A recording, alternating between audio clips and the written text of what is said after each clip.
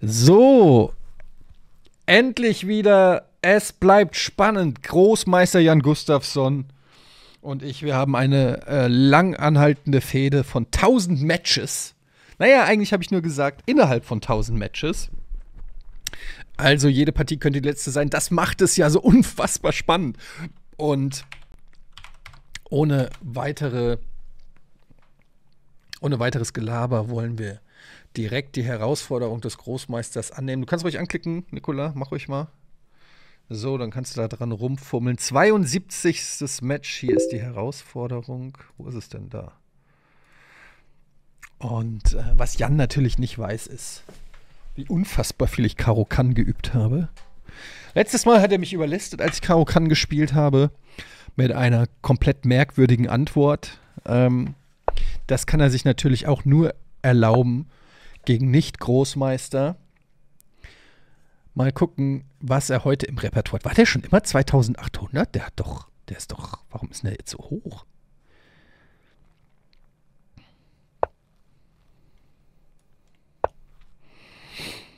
Wird er den Tausch annehmen oder nicht? Ist hier die große Frage. Ich habe mir nur die Tauschvarianten angesehen. Er tauscht nicht. Scheiße.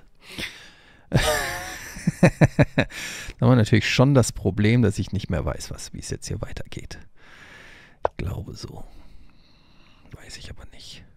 Könnte sein, dass er jetzt den Move hier macht. Das ist halt das Problem. Ich habe es mit der Vorbereitung nur Tauschvarianten angeguckt. Jetzt tauscht er wieder nicht. Jetzt ist schon wieder die Frage. Was macht man da? Tausch ich, schlag ich? Dadurch, dass er so lange jetzt schon wieder nichts macht, weiß ich, dass er schon wieder was erklärt. Und wenn er was erklärt, heißt das in der Regel, dass ich schon wieder irgendeinen dummen Fehler gemacht habe. Da ist es. Siehst du, ich habe es mir gedacht, das ist schon der erste Fehler. Das hat er jetzt wahrscheinlich erklärt. Keine Ahnung, schon wieder nur Kacke läuft es hier. Egal, wie ich es mache.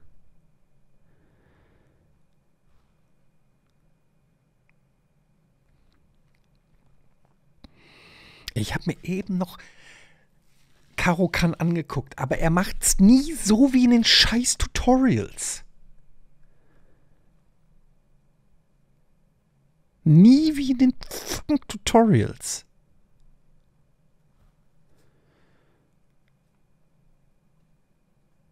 Er muss ja jetzt schlagen. Dann schlage ich zurück. Und dann habe ich wahrscheinlich schon wieder eine Kackbauernstruktur und er hat das Zentrum. Stimmt's? Und dann passiert das Gleiche wie immer.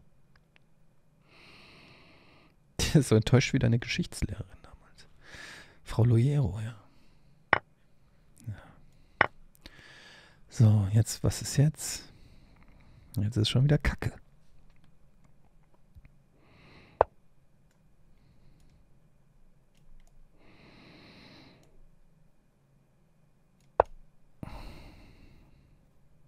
Ich spiele jetzt auch wild.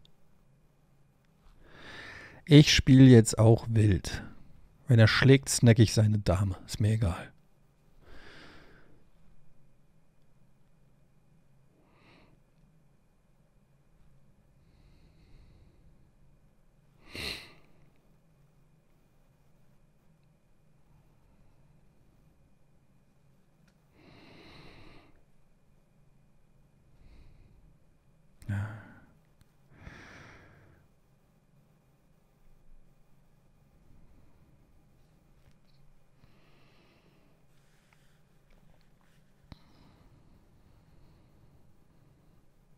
So muss man das sehen, Schmollex. Jan kann gar nicht die Schach spielen, wenn er nicht mal die Eröffnung aus den Tutorials beherrscht.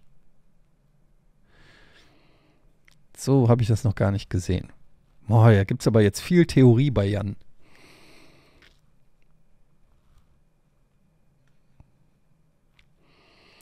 Daran merkt man sofort, wie sicher er sich fühlt. Drei Minuten Zeit fürs Labern raus. Ah, und hat wieder eine Variante gefunden, die ich nicht einkalkuliert habe. Mhm. Interesting.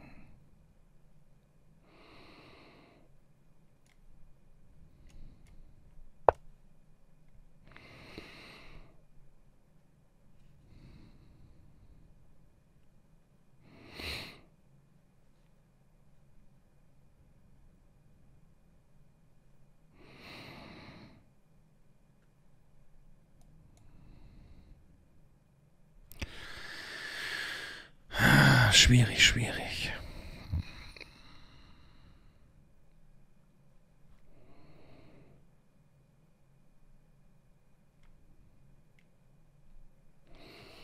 Schwierig, schwierig.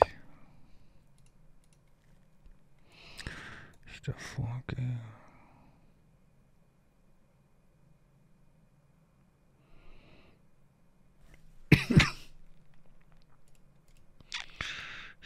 Ich da hingehe, dann geht er da hin.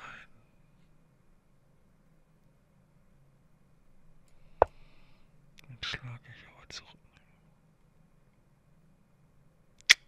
Ist auch wieder dumm. Wieder zu kurzfristig gedacht. Ich dachte, ich schlage zurück, aber dann kann er ja da wieder schlagen. Das macht auch keinen Sinn. Ich mache hier einen Fehler nach dem anderen, ey.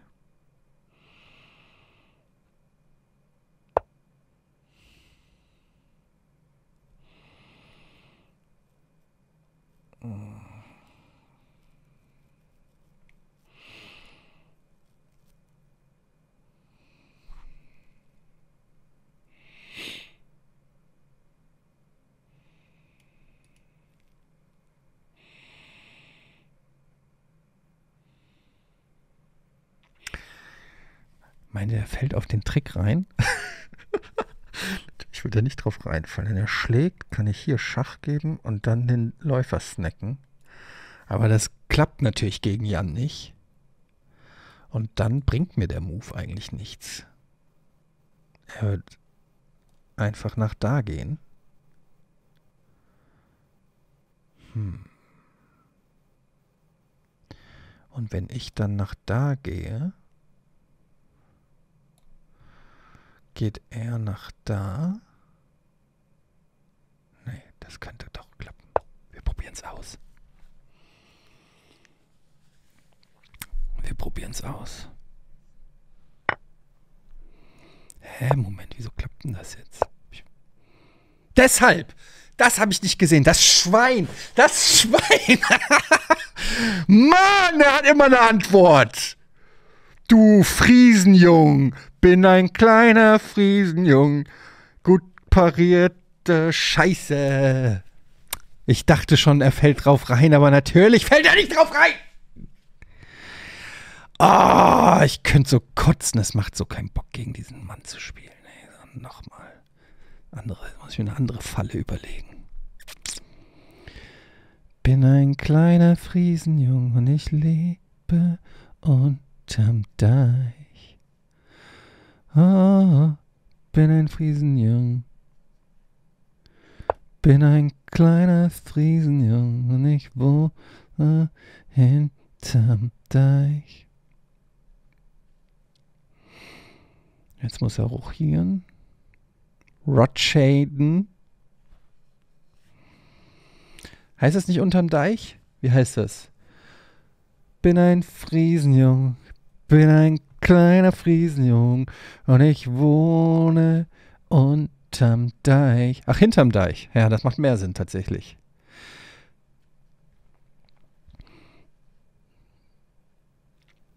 Oh, bin ein Friesenjung bin ein kleiner Friesenjung. Ich wohn hinterm Dike. Oh, bin ein Friesenjung. Bin ein kleiner Friesenjung und wohn des Nasenbleim. Oh. Oh, Double Angriff. Die Dame auch noch. Oh, is it Mais? Is it Mais? Oh, bin ein Freisenjung, bin ein kleiner Freisenjung und I wohn under the dike. Ja, ja, das ist schon matt, der hat sich schon hier wieder was überlegt. Das ist schon wieder vorbei.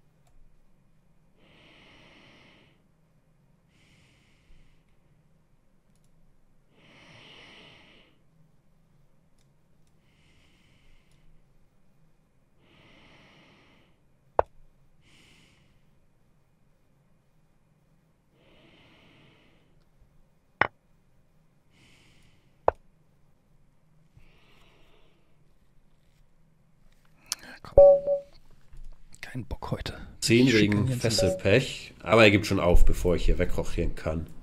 Also schalten wir in unsere Lieblingskategorie die. Analyse. Ich werde einfach nie wieder. Was war da los? Ich frage mich ja schon. Hat Gade das einstudiert? Er hat sehr schnell gespielt am Anfang. Sprenger F6, ein seltener Zug, sagen wir mal. D schlägt E ist hier gängig, Sprenger schlägt E4 und jetzt gibt's Läufer F5 oder Sprenger F6 oder Sprenger D7. Das hier ist das ganz moderne Zeug. Schwarz akzeptiert diesen Doppelbauern, aber versucht sie schnell zu entwickeln. So spielen die jungen Leute heutzutage. Aber Eddie spielt sofort Sprecher F6. Was als nicht so gut geht. Wegen Bauer E5, der Sprecher kriegt einen Tritt. Es ist so süß, dass Jan immer noch denkt, dass ich mir E4 irgendwas spielte. dabei gedacht gesagt, habe. Meines Wissens nach nicht so gut. Aber ich hatte ein bisschen Angst. Ich hatte ein bisschen Angst. Okay, ich nehme weg. Der prinzipielle Zug. Man kann ja auch Läufer D3 spielen. Ich weiß ein bisschen besser, aber dann nimmt er weg. Okay, nichts Schlimmes passiert.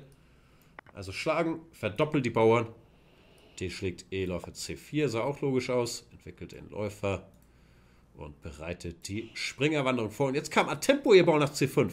Da war ich ein bisschen schockiert. Okay. Ich bin prinzipieller Typ. Nehme hier das Zentrum. D schlägt C, dachte ich, Dame A5, vielleicht nicht so klar. Oder Dame schlägt D1. Also D5 wirkte schon richtig. Und jetzt wusste ich nicht genau, was Schwarz spielen sollte. Kommt, wie gesagt, G6, dann F4. Ja, sieht auch logisch aus, den Kollegen unterstützen. Und Weiß steht besser. Also wirkt schon wackelig, mir so viel Zentrumskontrolle zu geben. Aber es kam sehr, sehr flink. Auch Läufer F5. ja, das ist, weil ich also- davor einfach Blitz gespielt habe. Das war einfach. ist dumm. es wieder ein Kurs hier von K.O. Ultimate Brain oder von wem er sich die Ultimate Guide, ein Ultimate Lead Chess Guide. Wir werden es nie erfahren. Läufer F5. Ich gucke immer nur auf die Zahl hier. Plus 2 sind wir dabei. Sprecher E2. Sprecher D7. Und jetzt Fehler. Fehler von mir. Läufer F4. Fehler. Danach nicht mehr so viel los nach G5. E6 Herr, war mir zu stressig. Aber das wäre der brutalste Weg gewesen. Ich habe nichts Direktes gesehen. Kommt dieser einfach entwickeln und weiß steht besser. Who am I, dagegen zu argumentieren? Läufer F4 und jetzt hier G5. Fast, fast B5 auf der anderen Seite macht er den Zug. Habe ich sogar G5 wär kurz drüber nachgedacht, aber dann dachte ich, den snackt er mir einfach weg. kommt raus. Und wer weiß. Wer weiß, kann was er doch einfach wegsnacken. Ich dachte, ich stehe besser hier, weil ich dachte, in der Läufer G7 habe ich E6. Aber, wie üblich, Hm. lag ich vollkommen falsch. Schreibe 6 Läufer B5, König F8. Schwarz im Geschäft. Also, für die nächste Partie, was muss ich lernen? Läufer F4 ungenau, E6 stärker.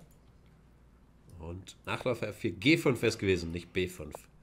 Ah, Zahlendreherchen. Läufer schlägt und ich vermute, Eddie hat auf diesen Trick gehofft. Aber der Trick funktioniert halt erst, wenn mein Springer hier drüben schon irgendwas gemacht hat.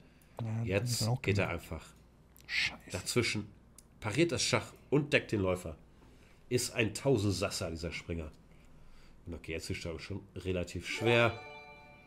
Danke, Jacko. Und nach Bauer E6 geht es schnell zu im Laufschicht D7. Es wird noch gefragt nach G5 Läufer schlägt G5. Was dann passiert? Ich vermute einfach Läufer G7, aber es ging auch sofort Springer schlägt E5. Ja, vielleicht sollte Weiß so spielen. Bisschen mehr Kontrolle behalten. Aber Stellung ist nicht so klar, wie ihr an der Bewertung sehen könnt. Also B5 der Fehler bis dahin. Spannende Partie. Und jetzt geht es diesem König an den Kragen. Hier hatte ich noch keinen Matt gesehen, aber ich dachte, die Chancen sollten gut stehen in so einer Stellung. Und ja, damit hatte ich recht. Und der König E6, damit D5, König E7. Jetzt nur die Frage, was der schnellste Weg ist, aber es gewinnt natürlich alles. Hier, ich dachte König E7. Jetzt war ich nicht sicher. Läufe G5 oder schlagen. Gesagt, verschlagen. In so eine Situation Turm möchte ich auch mal kommen, dass ich gar nicht weiß vor lauter. Optionen, wie man was schlägt. Zack, fällt der Turm auch, König E7.